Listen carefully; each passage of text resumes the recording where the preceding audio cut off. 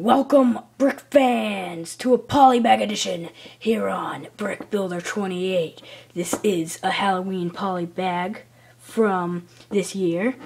It um set number 30201, 33 pieces, ages 6 to 12, retail price around $4.30. No, $4, yeah, $4, around $4. One minifig, which we all love the polybags with the minifigures. And then here's your bag. It's kind of on a stand, so. and you can't get this anymore unless you go on eBay. So here's your instruction manual. It's just one of those fold-out ones.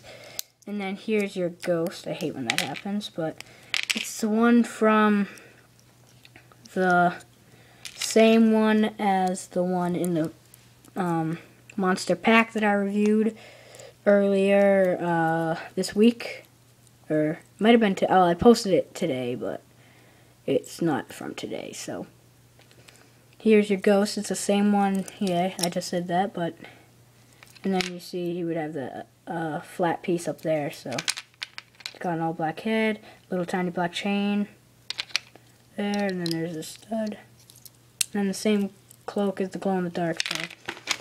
And then, oops, and then here is the grandfather clock. It's the pendulum.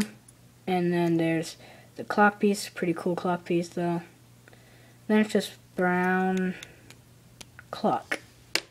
So that's it for this polybag review. I know it was short. I will be doing brick speed on this. So I think, I don't know if I already did, but anyways, thanks for watching. Please comment, like, subscribe, and share. Thank you.